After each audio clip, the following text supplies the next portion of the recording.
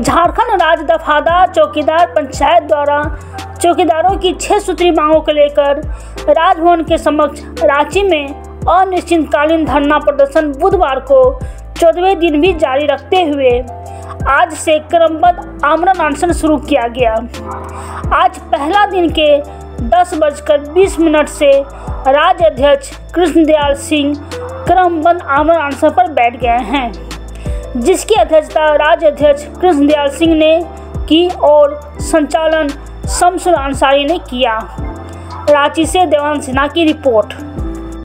मैं देवानंद, आज फिर दफादार जो हैं हमारे जो दफादार, वफादार जो सब हैं, आज अनिश्चितकालीन के लिए धरना पर बैठे हुए हैं और के डी सिंह जी, प्रदेश अध्यक्ष जो हैं, इनसे जानेंगे कि अभी तक जो इतने दिनों से धरना पर जो बैठे हुए हैं वो क्या हुआ गवर्नमेंट का क्या हलचल हुआ, कोई प्रतिनिधि आया, नहीं आया, जानूँगा मैं के डी सिंह से।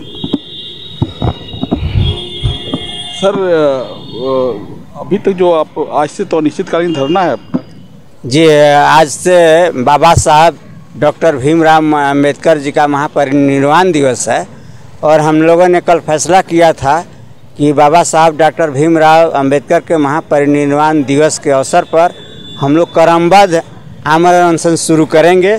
जो धरना प्रदर्शन चल रहा था, उसमें हम लोगों ने कुछ बदलाव किया है और हम अपने शरीर पर कष्ट, हम अपने शरीर को कष्ट में डाल करके हम सरकार तक अपनी बात पहुंचाना चाहते हैं।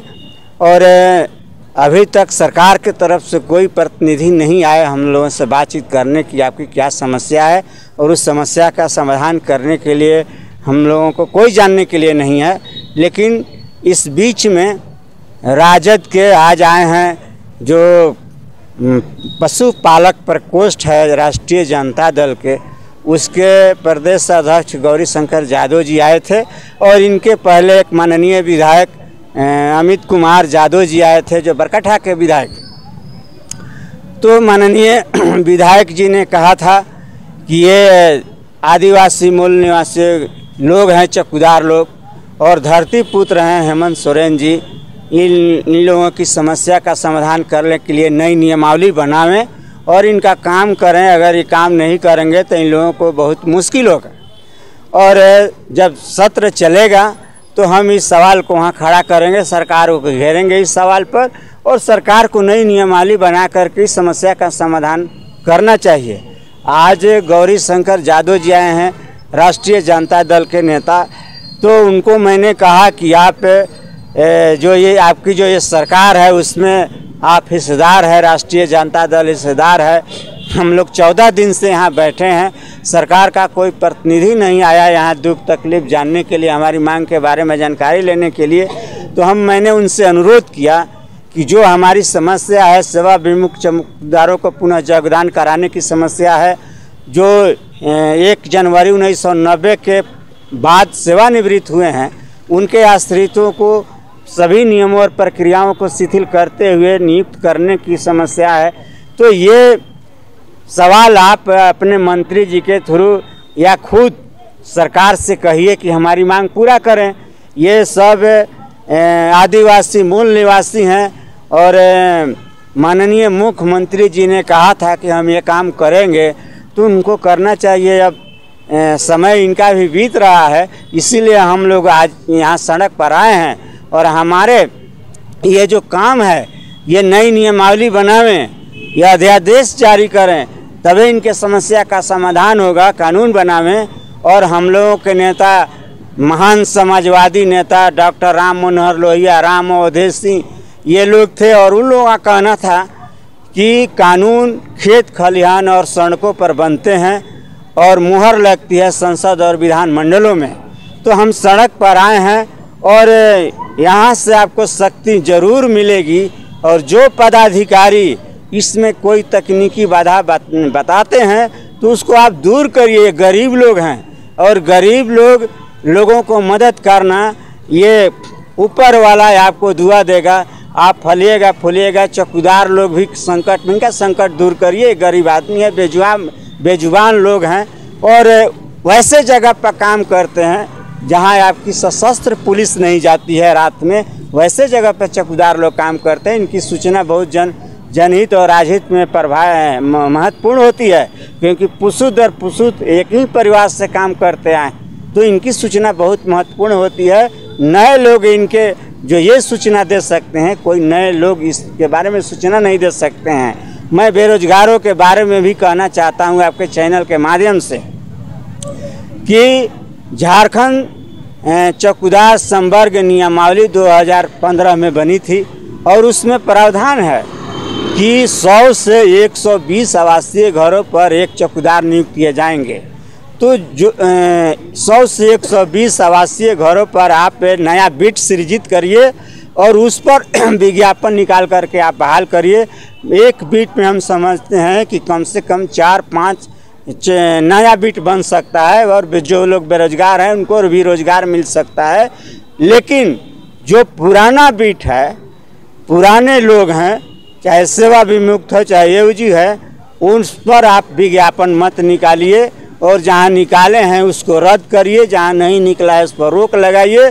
और ये पुराने बीटों पर, पुराने लोगों को और नया बीट पर नए लोगों को बहाल करिए। हम आपके माध्यम से सरकार को संदेश देना चाहते हैं। सर, ये आपको क्या लगता है, सरकार गंभीर है, नहीं है, कुछ ऐसा कुछ ऐसा लगता है जो आपने इतना दिन से आप बैठे हुए आज से अनिश्चितकालीन धरना आपने दिया है तो क्या आपको लगता है? देखिए माननीय मुख्यमंत्री हेमंत जी से जब हमारी पहली बार मुलाकात हुई थी इस सरकार में और जब सारा मामला मैंने उनको बताया था और कहा था कि विज्ञापन निकलिएगा तो ये सारे लोग बाहर हो जाएँगे दो परसेंट भी बाहर नहीं होंगे तो उन्होंने कहा था कि चौकीदार दफदारों के मामले में सरकार बहुत गंभीर है, आप घबराइए नहीं, हम काम करेंगे।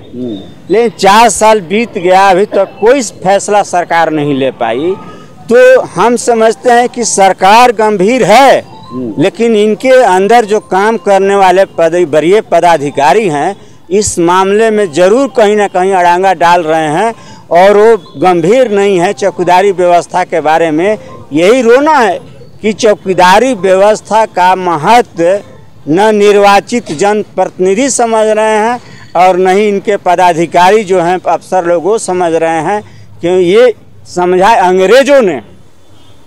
इनका महत्व अंग्रेज़ों ने समझा था और गुप्त काल से ही काम कर रहे थे।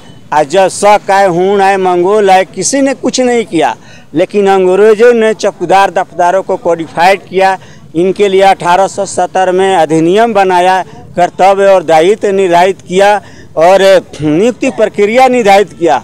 उस समय कोई चौकीदार अगर कहीं हत्या हो गई है, और उसकी सूचना अगर थानेदार को देते थे तो उनको बीस रुपया इनाम मिलता था 1870 में। आज एक पैसा नहीं मिलता आपको मैं उदाहरण दे सकता हूँ कि हजारीबाग जिला में एक ऐसा जंगल है जिस जंगल में आज भी सशस्त्र पुलिस नहीं जाती है, उस जंगल में चार चौकीदार जा कर के बारह बजे रात में लवारिस लाश ला करके विष्णुगढ़ थाना को दिए। लेकिन उनको एक पाई इनाम मिलना तो दूर। उनके सर्विस बुक में ये भी नहीं लिखा गया कि ये सब चौकीदार लोग साहसिक काम किया है। ये भी हमारे साथ इस तरह की ना इंसाफी हो रही। ये तो छोड़िए, ये भी हो गया। आप दूसरी बात है कि एक एक जगह पर एक एक घटनाक्रम में सिपाही शहीद होते हैं चौकीदार भी शहीद होते हैं। लेकिन सिपाही को राजकीय सम्मान मिलता है और चौकीदार को कुछ नहीं मिलता है। ये तो बहुत ही दुर्भाग्य की बात है सर। ये तो बहुत ही कि सिपाही को सम्मान मिलता है और चौकीदार को नहीं मिलता नहीं है। मिलता है। ये अभी आपको मैं उदाहरण दे सकता। ये एक महीना पहले की बात है यहाँ चंदवा थाना है लातेहार जिला में। वहाँ सादिक अंसारी को गोली मार के हत्या कर दिया सब ड्यूटी में। उसको राज राजकीय सम्मान मिला, क्यों नहीं मिला? वो भी आदमी विधि व्यवस्था में था, ड्यूटी पर था और गोली मार दी गई उसको, लेकिन उसके दाह संस्कार में कौन महकमा गया सरकार के तरफ़? उसको क्या सम्मान मिला? हमारे साथ इस तरह का अन्याय हो रहा है। ये जो सिपाही काम करते हैं वो संगीन के साय में काम करते हैं। हम तो निहते हैं। हैं। हमारे पास हथियार नहीं। और उन्हीं लोगों के बीच में काम करना है जो उपद्रव मचाते हैं। तो हम हम जब शहीद होते हैं सरकार को मदद करने में शहीद होते हैं तो हम सम्मान से भी गए। बहुत ही ये मार्मिक के डी सिंह जी जो बोले हैं सबसे बड़ा चीज़ है कि एक सिपाही जो शहीद होता है उसको मान सम्मान मिलता है और एक चौकीदार दफादार होते हैं उनका कुछ नहीं होता है वही जो साथ ही काम करते हैं। इनके पास ना हथियार है ना कुछ है और उनके बीच में ही काम करते हैं। बहुत मैं भी आ, सरकार से निवेदन करता हूँ खास करके हेमंदा तनी सुन दादा सुन तनी ये सबके पीड़ा। हम देवानंद पब्लिक ट्वेंटी फोर